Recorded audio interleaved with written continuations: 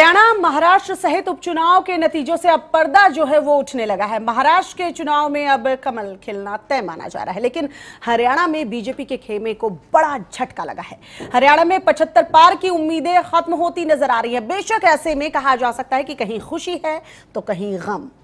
नमस्कार, आप देख रहे हैं आर नाइन टीवी मैं हूँ आपके साथ श्वेता भट्टाचार्य। यूँ तो महाराष्ट्र में बीजेपी की सरकार बनती नज़र आ रही है। लेकिन शिवसेना ने अब 50-50 के फॉर्मूले पर अमल करने की मांग जो है वो उठा दी है। यानी कि जीत के बाद भी बीजेपी का पेच जो है वो फंसता हुआ नज़र आ रहा है। ज़ाहिर है राहें जो है वो आसान नहीं होने वाली हैं। और दूसरी तरफ़, हरियाणा की अगर हम बात करें तो बीजेपी की उम्मीदों को झटका लगा है। एक तरफ़ हरियाणा में सियासी फिजा बदलते हुए नज़र आ रही है तो दूसरी तरफ़ बीजेपी के कई मंत्रियों की हार ने बीजेपी के बुद्धिजीवों की पेशानियों पर अब बल डाल दिया है। जनादेश वक्त के साथ सामने आ रहा है। इस जनादेश के मायने क्या कुछ है? इस पर आज की हमारी बहस जो है वो रहने वाली है। हमारे साथ सभी पार्टियों के तमाम मेहमान जो हैं वो जुड़ेंगे और हम जाने की कोशिश करेंगे कि कहाँ कितनी खुशी है और कहाँ कितना गम है।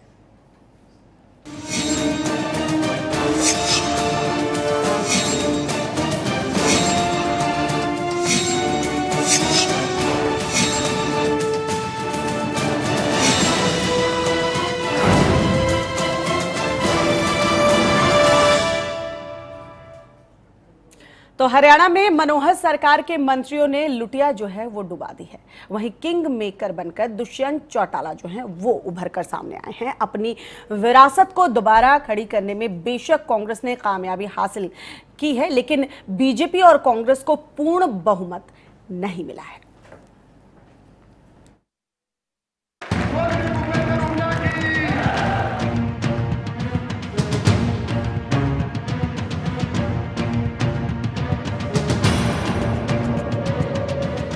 सत्ता के शिखर पर बैठी बीजेपी को हरियाणा में निराशा हाथ लगी है।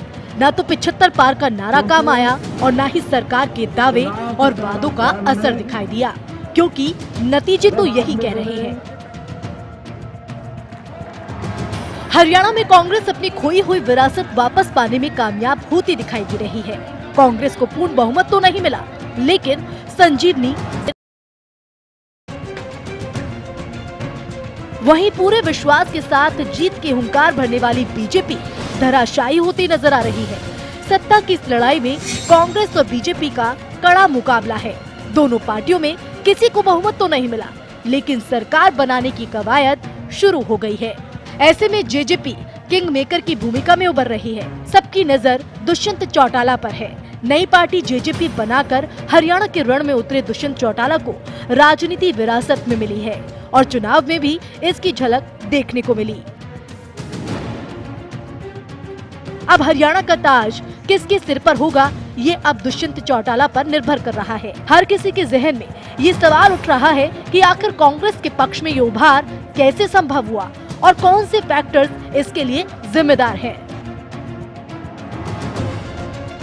दरअसल 2014 में हरियाणा में मनोहर लाल के नेतृत्व में सरकार बनने के साथ ही राज्य सरकार से जाटों की नाराज़गी शुरू हो गई थी। राज्य की राजनीति में परंपरागत रूप से जाटों का बोलबाला रहा है और ऐसे में किसी पंजाबी को बीजेपी की तरफ़ से सीएम बनाना उन्हें नागवार गुजरा। इतना ही नहीं, बीजेपी ने 2019 के विधानसभा चुनाव के लिए टिकट देने की प्रक्रिया में भी जाटों को नाराज़ कर दिया था। बहरहाल, अब देखना होगा कि जेजेपी किसका साथ देगी और हरियाणा का ताज किसके सिर पर होगा? Bureau report, R nine TV.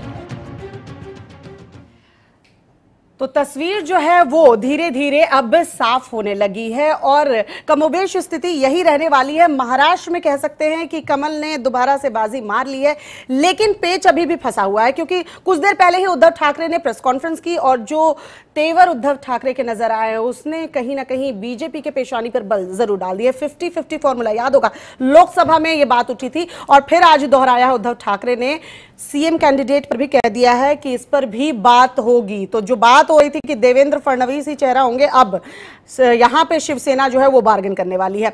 Haryana की बात कर ले तो पचहत्तर पार अभी तो यहाँ पे स्थिति ही दूसरी हो गई है कि अब सीधे बुला लिए गए हैं। मनोहर लाल को बुलाया गया अमित शाह ने बुलाया है। मंत्री जो है, वो हार रहे हैं। तो हरियाणा में यहाँ कमल की स्थिति जो है, वो बिल्कुल चाबी जो है, वो चली गई है जेजेपी के हाथ में। वो पार्टी जो 11 महीने पहले आई है अस्तित्व में, उसके हाथ में आज चाबी है। और यहाँ दुष्यंत चौटाला की राजनीति देखिए कि वो भी साफ़ नहीं कर रहे हैं। कई खबरें आई कि कांग्रेस ने ऑफ़र कर दिया, मुख्यमंत्री बन जाइए, लेकिन वो अभी स्थिति साफ़ नहीं कर रहे। तमाम जो हमारे साथ पैनलिस्ट मौजूद हैं, उनसे आप सभी का इंट्रोडक्शन करवा दूँ। हमारे साथ दो पॉलिटिकल एनालिस्ट ए के मिश्रा और संजीव कौशिक इस वक्त स्टूडियो में मौजूद है। जितेंद्र चौधरी, कांग्रेस के नेता इस वक्त हमारे साथ स्टूडियो में मौजूद हैं। धर्मवीर चौधरी, प्रवक्ता बीएसपी के इस वक्त हमारे साथ स्टूडियो में मौजूद हैं। अरशद आबिद, सपा के नेता हमारे साथ स्टूडियो में मौजूद हैं। और बीजेपी के प्रवक्ता गुलरेज शेख भी हमारे साथ जुड़ चुके हैं। आप सभी का बहुत बहुत स्वागत है। सबसे पहले तो गुलरेज शेख, आपके पास ही आना चाहूँगी। पचहत्तर पार, क्या हुआ, सर? हरियाणा तो हरियाणा बीजेपी की पेच जो है अब महाराष्ट्र में भी फंस गई। उद्धव ठाकरे रंग दिखा रहे हैं। नहीं इलेक्ट्रॉनल इंजीनियरिंग है और इंजीनियरिंग में कहीं ना कहीं विपक्षियों ने हमसे अधिक स्कोर किया है उसमें कोई दो राय नहीं है। और हम इस पर मंथन भी करेंगे चिंतन भी करेंगे कि ऐसा क्या हुआ कि हम अपने राष्ट्रवाद और विकास के जो नीचे जो का फॉर्मूला थे, जो हमारा विचार है, उसको नीचे तक परकोलेट नहीं कर पाए। और जो विभाजनकारी तत्व हैं, समाज के जो जातिवादी तत्व हैं, जातिवाद के फॉर्मूले को परकुलेट कर लिए और जीत गए। लेकिन, ये जी, ठीक है, हार और जीत तो लोकतंत्र में जुड़वा भाई होते हैं और हम हारे तो कहीं भी नहीं है। हम दोनों जगह अपनी सरकारें बना रहे हैं। लेकिन जो हमारी अपेक्षा थी उस अनुरूप रिज़ल्ट नहीं आया है उस पर मंथन होगा चिंतन होगा लेकिन हमको एक बात का आज सुर बदले है, हुए हैं गुलरेज शेख साहब। आज सुर बदले हुए हैं आपके। बिल्कुल नहीं बिल्कुल नहीं। अरे सर हमने ही आपसे बातचीत की थी। जो जीत का दावा ठोक रहे थे जो राष्ट्रीय मुद्दे को आप इनकैश कराने की बात कह रहे थे हाँ, और हाँ। पानी पी पी के कोसना कि राष्ट्रवाद के मुद्दे पर क्यों नहीं विपक्ष को क्यों तिलमिलाहट हो रही है? आज बिल्कुल सुर बदले हुए हैं सर। तो तो मैं भी तो ये भी यही कह रहा हूँ। मैं यही बिल्कुल भी नहीं मैम मैं यही तो कह रहा हूँ कि हमारे राष्ट्रवाद और विकास के जो दो मुद्दे हैं उसको हम इतना नीचे तक परकोलेट नहीं कर पाए।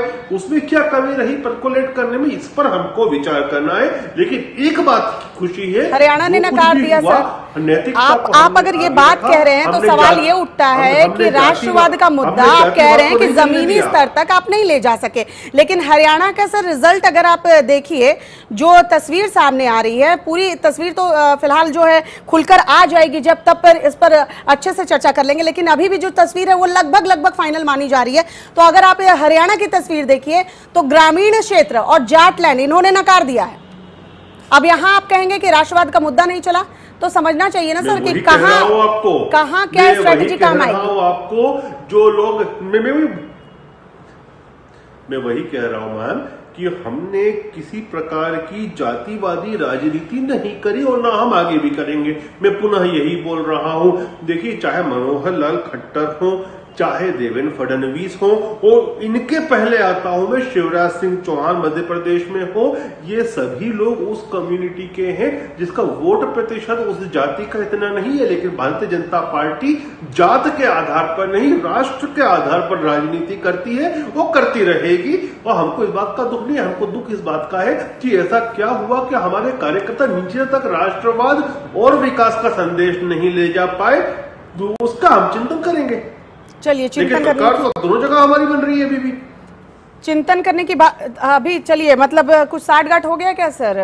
कहना चाहेंगे कुछ? हरियाणा में भी आप कह रहे हैं सरकार हमारी बन रही है। आंकड़े ही नहीं है अभी आपके पक्ष में। नहीं आप मुझे बातचीत हो गई है। कांग्रेस ने तो ऑफ़र किया था सर खबर थी मीडिया में कि कांग्रेस ने दुष्यंत चौटाला को ऑफ़र किया। तो आप बता दीजिए अंदर खाने बीजेपी की भी बातचीत चल रही है क्या? देखिए देखिए मैं जितनी बार दुष्यंत चौटाला से मिला हूँ, और आपने भी उनको स्टडी किया होगा, आप एक बड़ी जर्नलिस्ट हैं तो आपने भी स्टडी किया होगा वे काफ़ी इंटेलिजेंट व्यक्ति हैं और इंटेलिजेंट व्यक्ति होने के नाते वे अपने राजनीतिक भविष्य को आरंभ में ही खराब नहीं करेंगे। जैसा कि अखिलेश यादव ने किया यूपी के लड़के जब साथ आए थे तब या फिर लालू प्रसाद यादव के बेटे ने राहुल गांधी के साथ गले मिलकर किया। सर आपकी तो ये जो सेंटेंस है ना ये ये सेंटेंस ना सर कुछ और इशारा कर रहे हैं यहाँ जितेंद्र जी भी हंस रहे हैं। यहाँ जितेंद्र जी भी हंस रहे हैं। जी- से आप आरोप लगा रहे हैं। क्वेश्चन पूछ रहा नहीं अभी आप नहीं, नहीं, एक मिनट, एक मिनट, सर, एक आप मिनट। कह रहे थे कि आपने विकास किया। आज बारह तेरह स्टेट में आपकी सरकार है। मुझे उस स्टेट का नाम बताइए, जिस स्टेट में वहाँ के चीफ मिनिस्टर ने, भाजपा के चीफ मिनिस्टर ने एक किलोमीटर मेट्रो चलाकर दिखाई हो। आप मुझे बताइए स्टेट का नाम। समाजवादी पार्टी की सरकार ने उत्तर प्रदेश से मेट्रो चलाकर दिखाई और हमने देश का सबसे लंबा एक्सप्रेस बनाया। अरे अर्षद जी, आप तक- आप पर भी आऊँगी। अर्षद जी। आप जी लगा रहे हैं। अर्षद जी।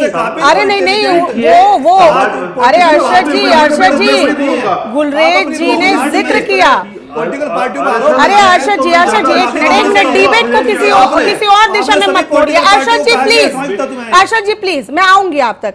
गुलरेज शेख जो कह रहे हैं जितेंद्र चौधरी यहाँ हंस रहे थे ये ये जिस तरह की बात कह रहे हैं कि क्लेवर आदमी है दुष्यंत चौटाला को आपने भी स्टडी किया होगा ये किस तरह एक तरफ़ तो कांग्रेस ऑफ़र कर रही है सर। पहले भी इस पर भी कितनी सच्चाई है क्योंकि इंटेलिजेंट बोला। देखिए इंटेलिजेंट है हाँ तो ये क्या मतलब इंटेलिजेंट है तो वो उन्हें अपना भविष्य नज़र आ रहा। लोग जो कह रहे हैं वो खुल के तो कह रहे हैं। ये लोग तो जो इनके, हमारे, इनकी पार्टी के जो देश के गृह मंत्री तो आईटीबीपी की कैंसिल करने के बाद मीटिंग बुला लिया खट्टर साहब को बुला लिया अब सेटिंग करेंगे रात में।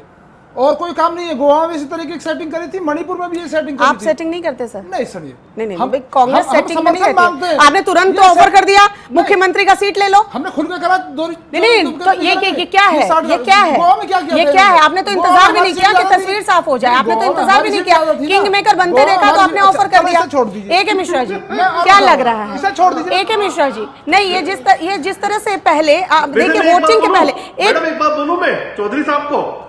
नहीं मैडम चौधरी साहब को एक बात बोलू मैं? बोलिए बोलिए। देखिए थोड़ा इनका प्रदर्शन सुधरा है उसका एक कारण यह भी है उसका एक कारण यह भी है कि राहुल तुम अपनी इज़्ज़त नहीं बचा पाए। हमारा कोई बड़ा नेता वहाँ ज़्यादा रैलियाँ नहीं की है। आपके तमाम अब ये दोनों पार्टियों की बात आप सुन रहे हैं ये देखिए जब हम इनसे कहते थे कि आपके कोई बड़े लीडर हरियाणा में चुनाव प्रचार नहीं करते दो प्रचार केवल राहुल गांधी ने किया। है तब यहीं बैठ के कांग्रेस के प्रवक्ता कहते थे कि नहीं हम हमने हम वो मुद्दे उठा चुके हैं जो जनता से जुड़े हुए हैं। आज जब आंकड़े कुछ और बता रहे हैं तब ये कह रहे हैं कि हमारे किसी बड़े लीडर ने ये तो ये ये सर अरे सर बीजेपी के कितने अरे गुलरेज में? जी सीख तो आपको भी लेने की ज़रूरत है और हैं? चिंतन चिंतन करने की नहीं चिंता की ज़रूरत है एक बेरोजगार शिक्षा ये एक यही जी। नहीं। मैं मैं आपको ये धारा हूँ। 370 पे लौटे रहे सारी पार्टियाँ सारे और उनके सारे नेता होगी, होगी। वाकई में सुनिए कर दिया, कर दिया। सुन लीजिए। सारी पार्टियाँ और उनके जो भी नेता स्ट्रेटजिस्ट थे सब बड़े इंटेलिजेंट थे और हैं और रहेंगे भी लेकिन जनता के सामने सबकी इंटेलिजेंसिया फेल हो गई ये सब इतने ही इंटेलिजेंट थे तो क्यों नहीं कांग्रेस पचास पचपन ले आई बीजेपी पिछली साल के पिछली बार का परफॉर्मेंस को मेंटेन कर पाई? सवाल यह है कि सब लोग अपना अपना बेहतर करने की कोशिश में है, पेज फंसा हुआ है, चार छः दिन और लगेंगे, चाहे वो जेजेपी हो, चाहे बीजेपी हो, जिनको बेहतर मिलेगा। कांग्रेस ने अपना ऑफ़र दे दिया कि भाई आप हमारे साथ मिल जाइए। लेकिन अभी भी सारी चीज़ों को देख करके मैं ये बोलूँगा कि सरकार ज़्यादातर जो सरकार बनाने के जो चांसेस हैं वो चांसेस हैं बीजेपी के हैं क्योंकि जेजेपी वजह? उसके पीछे की वजह यह है कि देखिए सबसे पहले वजह तो यह है कि सबसे बड़ी पार्टी है। हाँ देखिए पास्ट में किया हुआ मेहनत कहाँ काम आता है? राज्यपाल इनके होंगे तो राज्यपाल तो बोलेंगे ही कि भाई जो सबसे बड़ी पार्टी है हम उसको बुला रहे हैं। नेचुरल बेनिफिट ये मिल गया। अब ये बोलेंगे कि हम 20 दिन में या 10 दिन में अपना बहुमत साबित करेंगे। तो वो उस पीरियड में बहुत सारे लोग जो है बट नेचुरल वे में जो है उनका झुकाव हो जाता है कि भाई ये सरकार बनाने जा रहे हैं। हर पार्टी को अपना पॉलिटिकल बेनिफिट देखना है। ऐसा नहीं है कि कोई त्याग करके बैठी है। शिवसेना का एग्ज़ाम्पल आप देख लीजिए। जैसे ही उनकी सीटें, वो कंफर्म हुई कि पोजिशन में है। कल तक जो मतलब बोल रहे थे कि हमें आधी सीट दे दो और उन्होंने नहीं दिया, आज शिवसेना आँखें तैरने लगी है कि हम, कोई कंप्रोमाइज नहीं। मुख्यमंत्री तो हमारा ही होगा। शाम को छह बजे, सात बजे, दस बजे तक इलेक्शन कमीशन जब प्रेस कॉन्फ्रेंस करके फाइनल कर देगा ना तो असली चेहरे सारी पार्टियों के तब आएँगे। उसके बाद जो इनके बयान आएँगे, जो नया दौर शुरू होगा, एक चुनाव होना अभी और बाकी है। ये तो जनता का चुनाव था। राजनेताओं का अब अंदर का जो चुनाव होना है, उसी के लिए आप देखिए, सारे बड़े बड़े नेता अपनी रैलियाँ, ये सारी चीज़ें मीटिंग कैंसिल करके पहुँच गए हैं। एक दूसरे से मिलने में मिलने जुलने में फ़ोन करने में लग गए हैं, किसी भी पार्टी के हो। तो जरा इलेक्शन कमीशन का फाइनल देख लेते हैं, फिर इनके असली चेहरे आएँगे। लेकिन हरियाणा में तो बीजेपी जिस तरह से देखे कि मिनिस्टर्स जो हारे हैं बड़े बड़े नाम जो है वो हारे हैं तो यहाँ तो बीजेपी को सोचना होगा। संजीव कौशिक, आप कितना इतफाक रहते हैं? ए के मिश्रा जी ने जो बात कही यहाँ अगर हरियाणा की बात कर ले तो यहाँ ग्रामीण क्षेत्र और जाटलैंड जो था उसने नकारा है बीजेपी को। और पहले भी बीजेपी ने सारे सिटिंग एमएलए को टिकट नहीं दिए थे। तो जो गणित लगाया गया था क्योंकि अभी भी मिनिस्टर्स जो हैं वो अगर हार जाते हैं तो वो गणित काम नहीं आया वो स्ट्रैटेजी काम नहीं आई।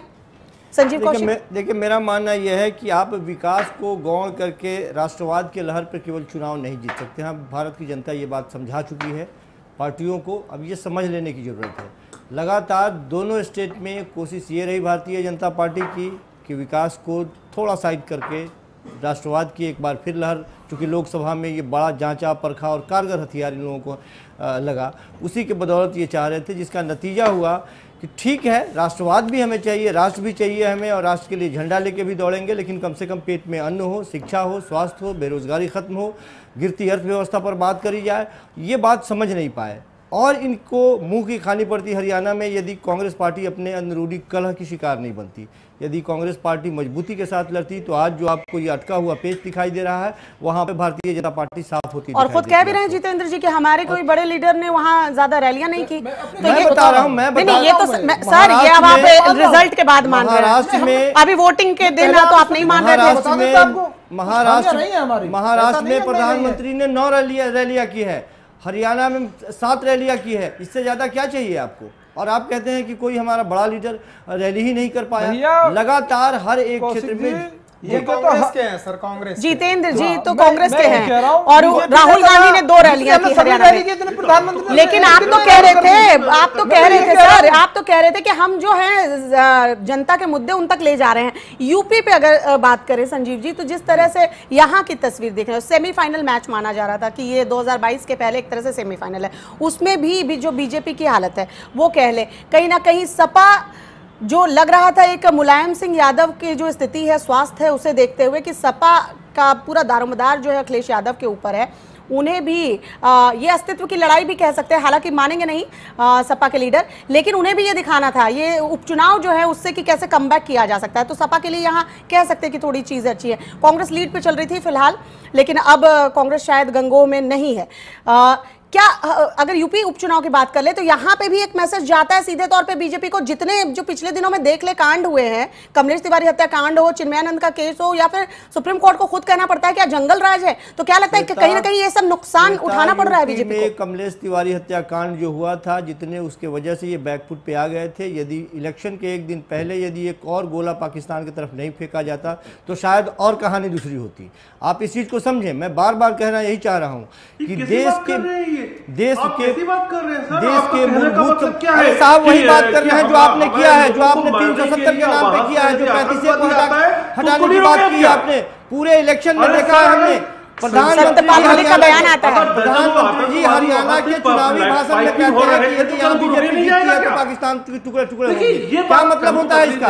आप सरकारी मुद्दे पे बात कर रहे हैं। आपने केवल और केवल देश की जनता को उलझाने का काम किया और जनता ये बात इस बार समझ चुकी है। हर बार झांसे में नहीं आती है। मैंने कहा कि राष्ट्रवाद केवल किसी की कि, कि सेना ने जो कार्रवाई की उसके बाद सेना ने प्रेस कॉन्फ्रेंस की तो क्या आपका ये कहना है कि भारत की सेना जो है चुनाव के एक अरे साहब उस सेना के कार्रवाई का श्रेय तो पिछले इलेक्शन में आपने लिया है। पीछे उनकी तस्वीर लगाई है आपने आगे से चुनाव में जाके उनके बदौलत आपने वोट मांगे हैं। आप बताइए कि राष्ट्रवाद के नाम पे आपने वोट वसूली की है या नहीं की है आपने वसूली की है इसे मैं वसूली करता हूँ। राष्ट्रवाद के नाम पे आप वोट की वसूली करते हैं। लोगों ने समझ तो लिया यही कारण है दुनिया मैं में बार गुलरेज बार शेख कह रहा हूँ। जो आप लोगों की स्ट्रैटेजी रही सर कि तो राष्ट्रवाद का मुद्दा उठाएँगे हैं।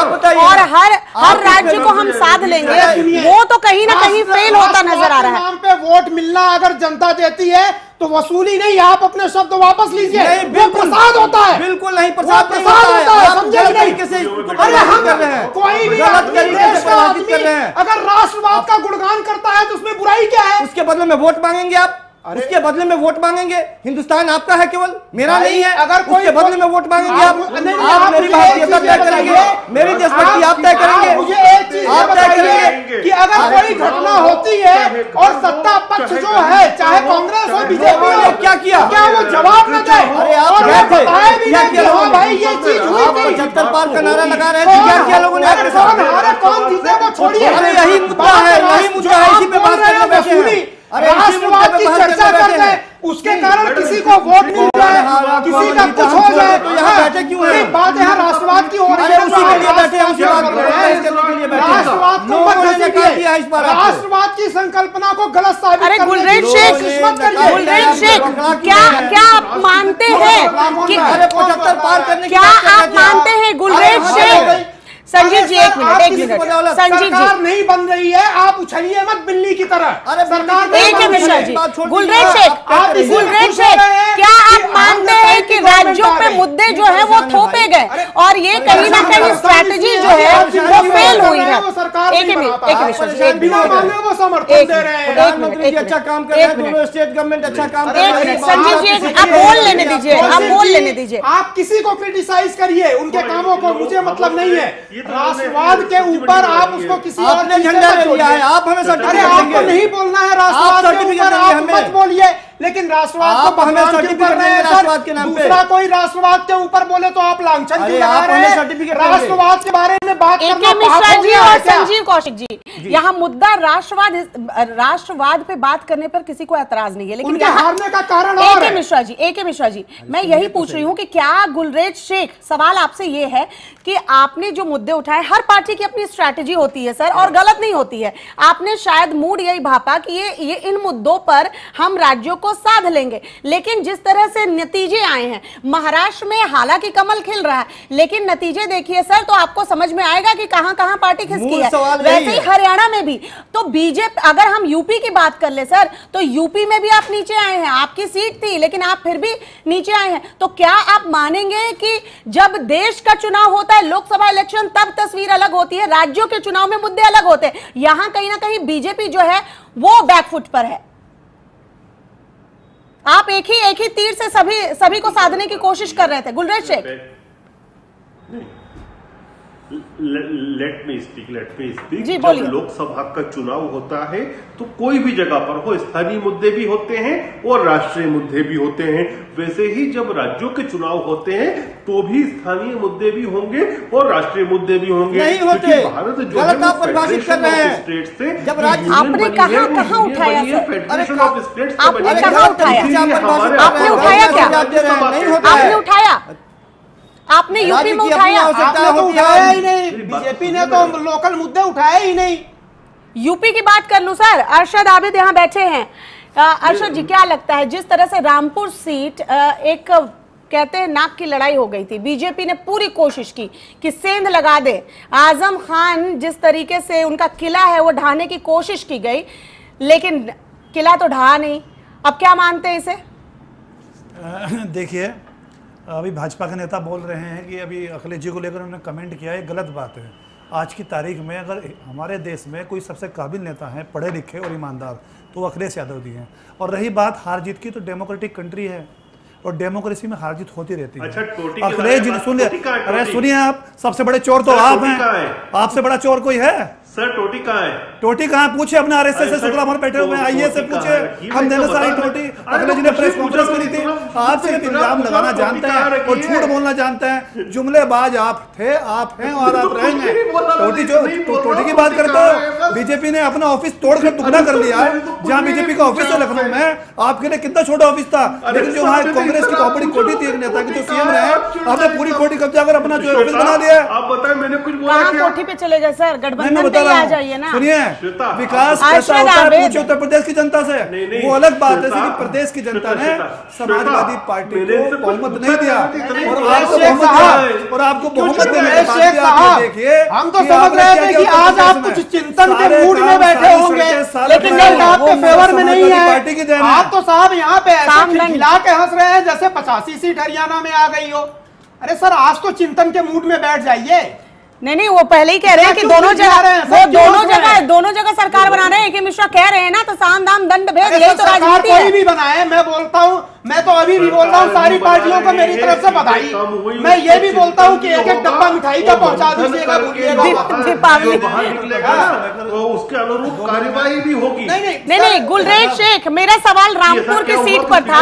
रामपुर की सीट पर इसलिए सवाल था सर क्योंकि बीजेपी ने तमाम कोशिशें कर ली। शिकन नहीं है सर। उत्तर प्रदेश नहीं सवाल तो उठेंगे गुलरेज शेख हूँ। क्योंकि रामपुर की सीट के लिए आपने क्या नहीं किया? ये आज़म खान पर जितने आरोप लगे और जितने केसेस आज़म खान पर आए। वो कहना था आज़म खान का कि 22 किलो वज़न जो है, इतनी खुशी का पहाड़ टूटा है कि 22 किलो वज़न कम हो गया। तो मेरा कहना है कि एक ही दिन में लगता है आज़म खान का 22 किलो वज़न कहीं बढ़ ना जाए। आशा जी, इसका ध्यान रखना होगा। देखिए मैं बोलता हूँ तो ये चिल्लाना शुरू कर देते हैं नहीं, नहीं, आप सुनने की बोलिए। आदत नहीं है क्योंकि ये चिल्लाते ही रहते हैं। देखिए जब समाजवादी पार्टी की सरकार उत्तर प्रदेश में थी तो हमने तीन करोड़ किसानों के लिए समाजवादी किसान सर्विस दुर्घटना बीमा चलाई। हमने पचपन लाख महिलाओं को समाजवादी पेंशन दी। दुनिया में कई सौ कंट्री हैं दो सौ कंट्री के आसपास। मैं जीते हुए अपने सभी प्रत्याशियों को हृदय से बधाई देता हूँ। और मेरा विश्वास है कि उनकी ये जीत, उन्हें जन विश्वास का प्रतीक भी बनाएगी। उनकी सक्रिय भूमिका प्रदेश के विकास और प्रगति में उनकी महती भूमिका होगी। इस विश्वास के साथ मैं उपचुनाव में विधानसभा की विभिन्न सीटों पर विजयी, जितने भी हमारे नवनिर्वाचित प्रत्याश जो जनप्रतिनिधि बने हैं, इन सभी को हृदय से बधाई देता हूँ, अपनी शुभकामनाएँ देता हूँ। तो यूपी के सीएम योगी आदित्यनाथ, जो कि बधाई दे रहे थे, जो भी प्रत्याशी जीते हैं उन्हें, लेकिन एक चिंता नज़र आ रही थी, यहाँ चेहरे पर। ये एक सवाल ज़रूर उठता है कि जब भी उपचुनाव हो, चाहे कुछ हो, अगर सरकार आपकी है तो सवाल आपसे उठते हैं कि अगर सीटें हारें तो सरकार की कहीं ना कहीं फेल्योर ए के मिश्रा जी, इससे आप इतफाक रखते हैं कि कहीं ना कहीं पिछली बार भी अगर मैं ले जाऊँ कि पिछली बार जो उपचुनाव हुआ था, उसमें भी योगी आदित्यनाथ पर सवाल उठ गए थे। और उसके बाद हमने देखा था लोकसभा में कैसे बढ़ चढ़कर योगी आदित्यनाथ ने चुनाव प्रचार किया था। लाजमी है, जब जीत हो रही है और जीत का क्रेडिट आप ले रहे हैं या आपको दिया जा रहा है तो हार का क्रेडिट किसे दिया जाएगा? आप मुझे बताइए। विपक्षी पार्टियों को देंगे क्या कि उनके कारण हारे या उनके कारण नहीं तो? क्या क्या वजह लगते हैं? यूपी में जिस तरह से देखे कि पिछले दिनों जितने बीजेपी के लीडर्स पर जिस तरह से आरोप लगे कुलदीप सिंह सेंगर हो नहीं नहीं यूपी के ये जो बाई ये जो बाई इलेक्शंस के इसके जो रिज़ल्ट आ रहे हैं ना जैसे बीजेपी सात पे दिखा रही है और अदर्स पे आप देखिए साथ में सर अपना दल भी है। सुनिए एल है तो आप उसको हाँ, मान के। चलिए। इस, मैं इसको कोई बहुत डिसीज़न नहीं मानता हूँ। सपा बसपा को मैं ये बोलूँगा, आप जीत रहे हैं तो आप इसको बेस बना करके आगे के लिए मत रणनीति बनाइएगा। कराना वगैरह में भी यही हुआ था, क्योंकि ये बड़ा इंडिविजुअलाइज्ड टाइप का होता है। यहाँ ना कोई पार्टी का बहुत बड़ा नेता जाता है, ना कोई भी पार्टी पूरे अच्छे तरीके से इफर्ट भी नहीं डालती है। बड़ा नेचुरल जो है ये होता है इलेक्शन का जो एक प्रकार होता है। तो ये ठीक है, हार गए, जीत गए, यहाँ पे भी बीजेपी एलाइज आगे हैं। इसके बेसिस पे आगे आप खुश हो सकते हैं, आपके अंदर ऊर्जा का प्रवाह होगा, लेकिन स्टेट और नेशनल लेवल का इलेक्शन वो गलती मत आप दोहराइएगा, जो आपने, आप लोगों ने पहले दोहराया था। तो इसको तो मैं कंसीडर ही नहीं करता हूँ। जो जीत गए, उनके लिए बधाई, जो हार गए, वो अपना अच्छा कोशिश करें। सवाल यहाँ पे ये है कि जो ये अब की बार जो इलेक्शन हुए हैं क्वेश्चन ये है, इतनी बड़ी मशीनरी बीजेपी की थी, इतनी दक्ष टीम थी पीएम से लेकर के वहाँ पे बूथ मैनेजर तक, बीएम तक सारे लोग लगे थे। और सारे टीवी चैनलों के एग्जिट पोल भी आ रहे थे, सत्तर, बहत्तर, पचहत्तर। मैं बोल रहा हूँ, बीजेपी सत्तर, पचहत्तर नहीं। अगर पचास, बावन, पचपन सीट भी लाती ना, तब भी मैं इसको बोलता, बीजेपी के लिए जीत करके हार गए आप। बीजेपी की लड़ाई खुद अपने स्टेटस को मेंटेन करने की है। 48 या 50 सीट जो पहले थी, आप उसी को मेंटेन कर ले, उसके ऊपर जितना भी रहेगा। देखिए सरकार चाहे एक सीट से जीते या एक वोट से जीते तो बेनिफिट तो सारा का सारा मिलेगा। आप गोवा वगैरह में देख लीजिए। लेकिन ये दिखाता ये है कि बीजेपी की मशीनरी फेल हो रही है, फेल क्यों हो रही है? क्योंकि जो इनका अभी तक का एजेंडा था, जो मुद्दे या जो रणनीति थी, शायद वो घिस चुकी है, वो पुरानी हो चुकी है। इसी के कारण ये दोनों उसमें आया है, दोनों जगह जो आया है। अब बीजेपी करेगी क्या? चिंतन की जगह चिंता करेगी। और आगे आप देखेंगे बीजेपी के एजेंडा में, रणनीति में एक बहुत बड़ा परिवर्तन आप देखेंगे। आप एक बहुत बड़ा परिवर्तन देखेंगे। आप थोड़े दिन रुक जाइए उसके बाद ये देखेंगे यहाँ सरकारें वगैरह जिसकी बननी है बन जाए एक बहुत बड़ा चेंज आएगा और अब ये बीजेपी को भी समझ में आ गया है। आ, क्या कहते हैं गुलरेज शेख? बार बार यही बात उठ रही है सर कि बीजेपी को सोचने की ज़रूरत है। थोप नहीं सकते हैं आप अपनी स्ट्रैटेजी जनता जो है अब इतनी जागरूक है वो समझ सकती है कि उनके मुद्दे नहीं उठाए जा रहे हैं। अब जो है ना पूरी तरह से आ, सोच विचार करके कि कहाँ क्या गलती हुई, क्योंकि बहुत सारे गणित जो हैं वो आप लोगों ने लगा लिए थे। उसके बाद ये स्थिति है। अब तो उद्धव ठाकरे आँखें दिखा रहे हैं।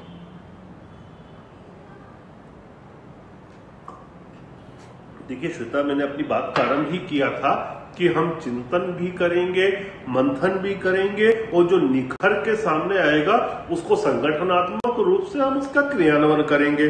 भारतीय जनता पार्टी एक कंटिन्यूस इवॉल्विंग पार्टी है। हमको स्टेगनेंट वाटर नहीं है रुका हुआ पानी कि जो होगा, जब ठीक है, जीत गए तो जीत गए, हार गए तो हार गए। प्रत्येक चीज़ पर हम चिंतन करते हैं और अपने, अपनी कार्यशैली में सुधार लाते हैं। मैं एक उदाहरण दूँगा आपको।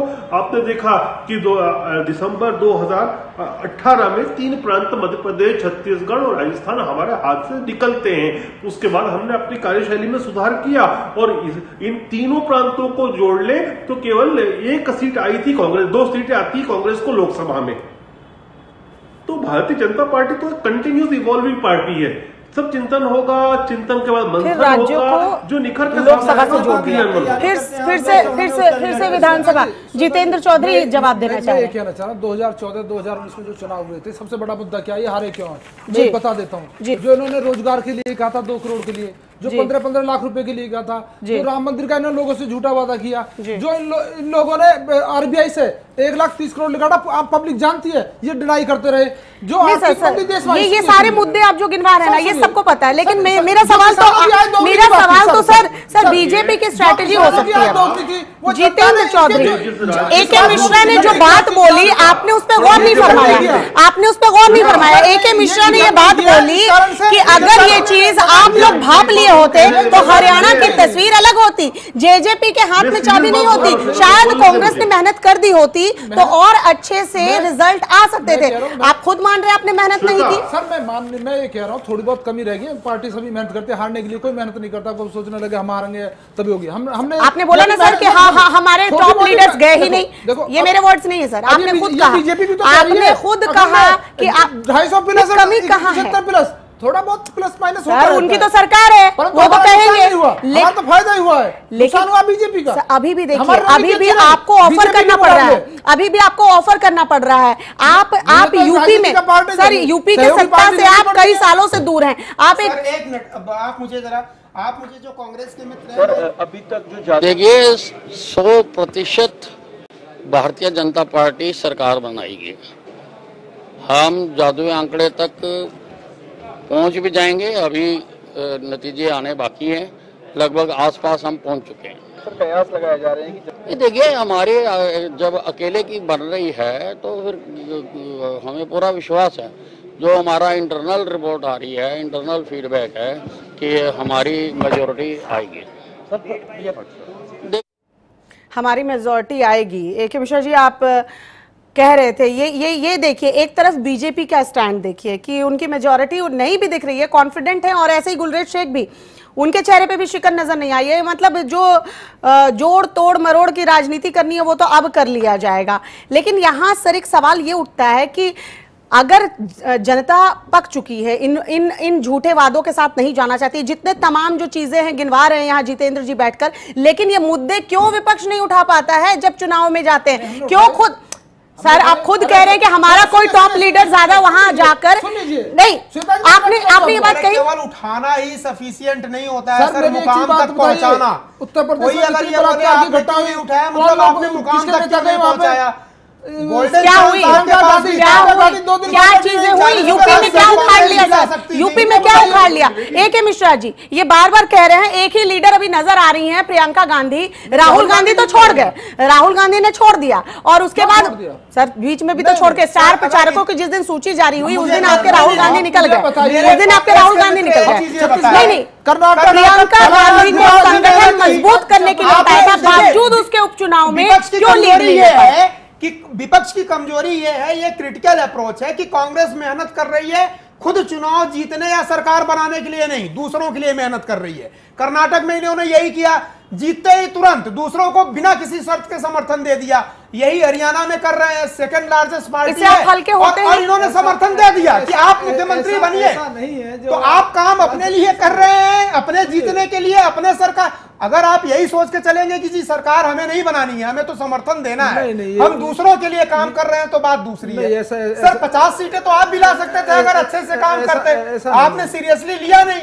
नहीं देखो ऐसा है। आप जैसा परोसोगे और खिलाने को दोगे नहीं पब्लिक को तो सोचा बड़ा अच्छा खाना है। पब्लिक के सामने झूठ बोलोगे पब्लिक तो बहकावे में आती है। ये लोग अब तक करी क्या रहे हैं छह साल से? इन्होंने तो कोई काम किया है ना क्या? यही यही बात यही तो तो मुद्दा है नहीं यही तो मुद्दा है। तो जितेंद्र चौधरी यही मुद्दा है। आपको इनकैश करना नहीं, करना आप- चाहिए आप- आप नहीं आप जितेंद्र जी बोल रहे हैं कि हमने यूपी में काम किया।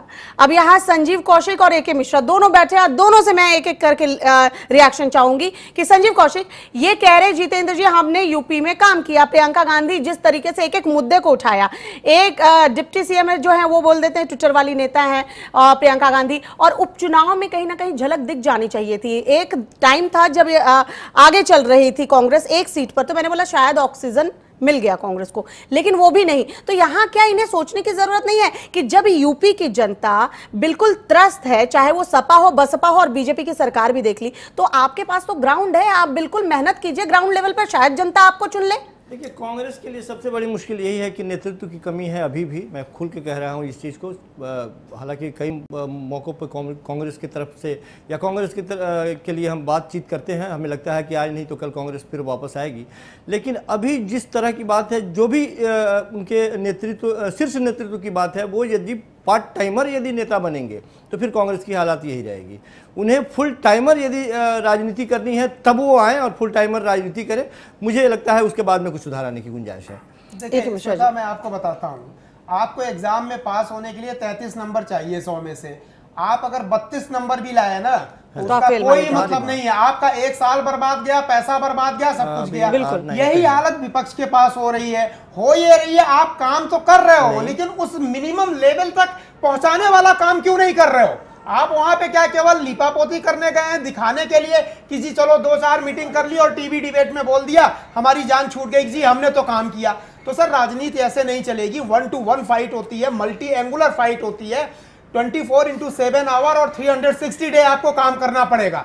तब जाकर के कुछ परिवर्तन की उम्मीद करिए। अदरवाइज़ आप सेकंड लार्जेस्ट पार्टी होते हुए भी सरकार दूसरों की बनाएँगे मेहनत आप करेंगे मज़ा कोई और मिश्रा जी यहाँ सवाल एक और है क्योंकि अगर हम देखें यूपी में तो जिस तरीके से और लोकसभा चुनाव के पहले जो एक माहौल तैयार हुआ था एक तरफ़ महागठबंधन की तस्वीर बन रही थी लेकिन उस महागठबंधन में ही कई उस नाव में कई छेद देखने को मिले।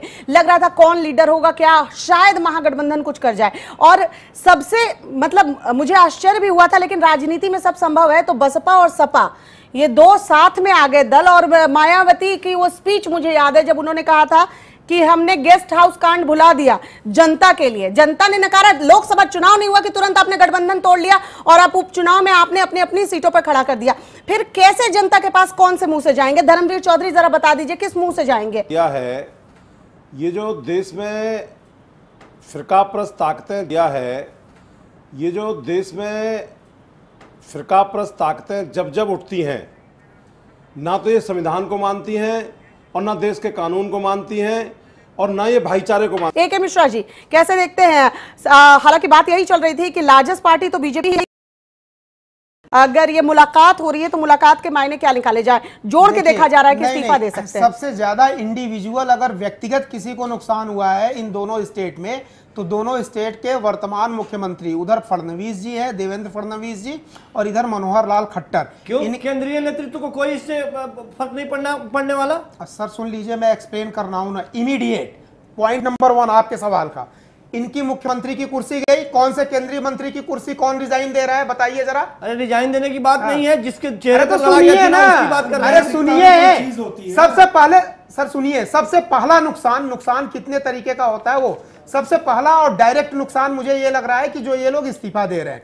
मल्टीलेयर नुकसान होता है। नुकसान केवल केंद्रीय मंत्री नहीं नुकसान तो इनका अगर एक एक बूथ मैनेजर या इनका एक समर्थक भी देश में कहीं होगा तो छोटा बहुत नुकसान उस, उसको भी हुआ है। कि हाँ भाई वो उसका मोरल डाउन होगा। नुकसान और तो तो कांग्रेस को भी हुआ है। बात को मन गए होंगे छप्पन भोग की थाली सामने लगी है आप बात और घुमा उसमें रहे से एक अन्न हम नहीं आप घुमा रहे हैं बात को? आप बात को घुमा रहे हैं। मैं देश के प्रधानमंत्री मोदी जी की बात कर रहा हूँ जिनके चेहरे पर ये चुनाव लड़ा गया था। हरियाणा उसकी बात मैं कर रहा हूँ। आप बताइए। करने के बाद में आप कौन से आप ये टाल रहे अपने मुँह को? हाथ टाल रहे हैं और मुख्यमंत्रियों वहाँ पर आप पाकिस्तान और हिंदुस्तान की बात कर रहे थे मैं बता रहा हूँ साहब। की बात कर रहे थे। सुनिए, मैं बता रहा हूँ कहाँ मुँह छुपाएँगे? आपका। मैं बता रहा हूँ। पचहत्तर अरे सर, सुनिए। आपको पब्लिक अरे ने आईना दिखा दिया अरे सुन लीजिए। आपको पब्लिक ने आईना दिखा दिया सुन लो ना कहाँ मुँह छुपाएँगे? आप दोनों को मैं बता रहा 75 हूँ। पार की बात कर रहे थे। दोनों को मैं बता रहा हूँ। पचहत्तर पार कहाँ है मैं बता रहा हूँ। वहाँ पर बारह हज़ार किसानों ने आत्महत्या की सुन लीजिए। में। सुन लीजिए अब सुन लीजिए पर आपने आप सुन लीजिए कहाँ छुपाएँगे? मैं फिर बोलता हूँ। बकवास कर रहे हैं आप बैठ करके यहाँ पे। अरे आपकी बात क्या सुने सुन? लीजिए। क्या बात सुने आपकी आप जो बोल रहा हूँ वो सुनिए ना। कहने के लिए कोई मौका ही नहीं है। अरे सुनिए। सुनिए। क्या ये- चिप लगाना भूल गए ये- ये वहीं पे मुँह दिखाएँगे। चिप लगाना जब बस जब बसपा साफ़ हो गई थी तो जहाँ मायावती जी ने बीजेपी के लोग जहाँ अखिलेश यादव ने जहाँ राहुल गांधी जी ने आपका दो हज़ार उन्नीस में दिखाया। तो ये वहीं पे मुँह दिखाएँगे। चलिए तो धर्मवीर आपने धर्मवीर जी बता दीजिए। के वैसे ही है। मिश्रा जी आप एक मिश्रा जी एक है मिश्रा जी। चलिए धर्मवीर जी अरे धर्मवीर जी धर्मवीर जी धर्मवीर जी चलिए आप मेरे सवाल का जवाब दे दीजिए आप मेरे सवाल का जवाब दे दीजिए। है यूपी मिश्रा जी है आप- मिश्रा जी यूपी से ही सवाल ले लेते हैं सर। आप जरा वो तो बताओ। जहाँ आप सब क्या हुआ? धर्मवीर जी, मेरा भी सवाल है। एक सीट नहीं आपकी आ रही है 2000 2019 का चुनाव में भी उत्तर प्रदेश में बहुजन समाज पार्टी ने 10 सीटों पर विजय प्राप्त किया है। अरे सर, मायावती बन गई। अरे। सर धर्मवीर जी रहिए।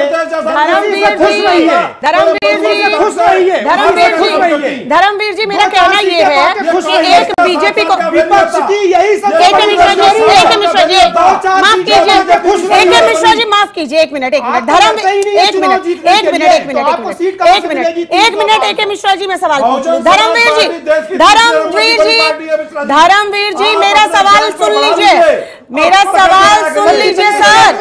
धर्मवीर जी मैं सवाल पूछ लूँ? हाँ, मैं सवाल पूछ लूँ? गठबंधन कहाँ गया? कितने इतना महागठबंधन जो बना रहे थे वो कहा गया सर? आपकी लीडर जो ये कहती हैं कि हम गेस्ट हाउस कांड भुलाकर हम सपा के साथ जा रहे हैं और इलेक्शन होने के बाद वो हार मानती है। और खुद गठबंधन तोड़ के कहती है हम अकेले हम अकेले लड़ते तो ज़्यादा फ़ायदेमंद होता। ये बात कही थी ना मायावती ने। ये बात कही थी ना कि शायद हम अकेले लड़ते तो ज़्यादा फ़ायदा होता। ये याद दिला रहे हैं ना गेस्ट हाउस का। इन्होंने ही याद दिलाया तभी अरे के मिश्रा जी बोल लेने दीजिए बोलिए मिश्रा जी का जरा भौपू बंद करा दीजिए। नहीं, नहीं, क्या हुआ? अरे आप ये आपको लगता है दूसरों को भोग सर क्या कह रहे हैं? आप भोग नहीं है क्या कह रहे हैं सर? एक एक मुझे अपनी आवाज़ उठानी पड़ती है सर। Please please. आप धर्मवीर जी इनका भौंकू बंद करा के फिर ये शब्द नहीं होते सर ये शब्द नहीं होते। आप इस नहीं तरह से शब्दों का इस्तेमाल करेंगे तो ये शब्द नहीं होते सर। धर्मवीर जी चलिए कंटिन्यू एक है मिश्रा जी। नहीं मैं अलाउ नहीं करूँगी please sir please Dharamvir ji एक है मिश्रा जी एक है मिश्रा जी एक है मिश्रा जी। मेरी बात सुनेंगे ये डिबेट किस दिशा में ले जा रहे हैं? एक है मिश्रा जी। ये अपने नंबर पर बोले ना। धर्मवीर जी ये अपने नंबर पर धर्मवीर जी धर्मवीर जी धर्मवीर जी मेरा सवाल आपसे है ना? मेरा सवाल एक मिनट एक बस मुझे भोंपू का बस बस बस बस बस श्वेता एक जी मिनट। यहाँ पर भारतीय जनता पार्टी की हताश आपकी डिबेट में भी दिखाई दे रही है कि किस तरह से भारतीय जनता पार्टी के लोग जो समर्थक है वो कितने हताश इस तरीके से मैं डिबेट आगे नहीं ले जा पाऊँगी। माफ़ कीजिएगा। वकार चौधरी मैं पास आऊँगी लेकिन पहले मेरा सवाल आपसे है। धर्मवीर जी आप मेरे सवाल का जवाब देंगे। धर्मवीर जी धर्मवीर जी धर्मवीर जी एक मिनट एक मिश्रा जी एक मिश्रा जी एक मिश्रा जी एक मिनट। अरे अरे अरे अरे हो। गया हो गया हो गया सर। हो गया सर सर मेरा काम मुझे कर लेने दीजिए। एक मिनट एक मिनट एक मिनट। मतलब सवाल मैं पूछूँ या फिर नहीं नहीं तो अरे अरे। के मिश्रा जी एक मिनट सुन लीजिए। हो गया हो गया। पहली बात तो ऐसे शब्दों का चयन ना करें क्योंकि जनता जो देख रही है ना सर बहुत हंसती है। वाकई में अगर मैं भी इस तरह के डिबेट शोज़ देखती हूँ ना तो कहती हूँ क्या बात है हो रही है? शब्दों नहीं एक minute Dharamvir ji please Dharamvir ji please भोपू का शब्द किसी ने नहीं बोला था।